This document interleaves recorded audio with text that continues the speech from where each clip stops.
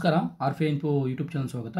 ಈ ವಿಡಿಯೋದಲ್ಲಿ ಯಾರು ಬಿ ಎಡ್ ಮಾಡಬೇಕಂತ ಇದ್ದೀರಲ್ಲ ಮತ್ತು ಶಿಕ್ಷಕರಾಗಬೇಕಂತಿದ್ದವ್ರಿಗೆ ಒಂದು ಉತ್ತಮವಾದಂಥ ಅವಕಾಶ.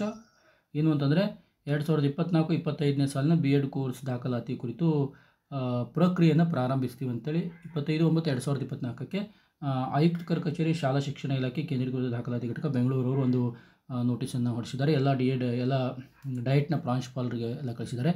ಏನು ಅಂತಂದರೆ ಏನು ಎರಡು ವರ್ಷದ ಬಿ ಎಡ್ ಕೋರ್ಸ್ ದಾಖಲಾತಿಯನ್ನು ಸರ್ಕಾರಿ ಕೋಟದಡಿಯಲ್ಲಿ, ಇದು ಪ್ರೈವೇಟ್ ಇದು ಮ್ಯಾನೇಜ್ಮೆಂಟ್ ಕೋಟ ಅಲ್ಲ, ಸರ್ಕಾರಿ ಕೋಟದಡಿಯಲ್ಲಿ ಹದಿನೈದು ಹತ್ತು ಎರಡು ಸಾವಿರದ ಇಪ್ಪತ್ನಾಲ್ಕರಿಂದ ದಾಖಲಾತಿ ಪ್ರಕ್ರಿಯೆ ಪ್ರಾರಂಭಿಸಿದ್ದು ಅಂದರೆ ಹದಿನೈದರಿಂದ, ಹದಿನೈದು ಹತ್ತು ಅಂದರೆ ಅಕ್ಟೋಬರ್ ಹದಿನೈದರಿಂದ ಏನು ಮಾಡ್ತಾರೆ ಆನ್ಲೈನಲ್ಲಿ ಅರ್ಜಿ ಸಲ್ಲಿಸಲಿಕ್ಕೆ ಮೋಸ್ಟ್ಲಿ ಒಂದು ತಿಂಗಳು ಅಥವಾ ಟೈಮ್ ಕೊಡ್ತಾರೆ. ಈ ಒಂದು ತಿಂಗಳ ಟೈಮ್ ಆದ ನಂತರ ಏನಾಗುತ್ತೆ, ಅದು ಕೌನ್ಸಿಲಿಂಗನ್ನು ಪ್ರಾರಂಭಿಸ್ತಾರೆ. ಯಾವ ಲಿಸ್ಟು ಸೆಲೆಕ್ಷನ್ ಲಿಸ್ಟನ್ನು ಅಷ್ಟೇ ಬರ್ತಾರೆ. ಹೀಗಾಗಿ ಯಾರು ಪಿ ಯು ಮಾಡ್ಕೊಂಡಿದ್ದೀರಿ?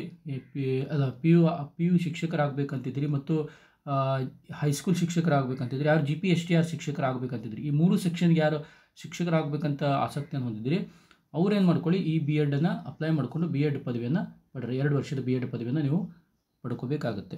ಓಕೆ ಈಗ ಆಲ್ಮೋಸ್ಟ್ ಆಲ್ ಈಗ ಭಾಳಷ್ಟು ಜನರು ಡಿಗ್ರಿ ಮಾಡ್ಕೊಂಡಿರ್ತಾರೆ, ಅವರು ಪಿ ಯು ನೇಮಕಾತಿಗೆ ಪ್ರಾಬ್ಲಮ್ ಆಗುತ್ತೆ, ಹೀಗಾಗಿ ಅವರು ಸಹಿತ ಏನು ಮಾಡ್ಕೊಳ್ಳಿ ಬಿ ಎಡನ್ನು ಮಾಡ್ಕೊಳ್ಳಿ. ಇದೊಂದು ಒಂದು ಉತ್ತಮ ಅವಕಾಶ. ಹೀಗಾಗಿ ಎರಡು ಸಾವಿರದ ಇಪ್ಪತ್ನಾಲ್ಕು, ಇಪ್ಪತ್ತೈದನೇ ಸಾಲಿನ ಬಿ ಎಡ್ ಹದಿನೈದನೇ ತಾರೀಕಿನಿಂದ ಪ್ರಾರಂಭವಾಗುತ್ತೆ ಅಪ್ಲಿಕೇಶನ್ ಹಾಕೋದು ಒಂದು ತಿಂಗಳು ಟೈಮ್ ಕೊಡ್ತಾರೆ. ನಂತರ ಲಿಸ್ಟ್ ಹಚ್ತಾರೆ ಯಾರಿಗೆ ನಂತರ ಡಯಟ್ ಮಾ, ಏನು ಡಯಟ್ನಲ್ಲಿ ಕೌನ್ಸಿಲಿಂಗ್ ಇರುತ್ತೆ. ಆ ಕೌನ್ಸಿಲಿಂಗ್ ಹಾಜರಾಗಿ ನೀವು ಸ್ಕೂ ಸ್ಕೂಲನ್ನು ಸೆಲೆಕ್ಟ್ ಮಾಡ್ಕೋಬೋದು. Okay thank you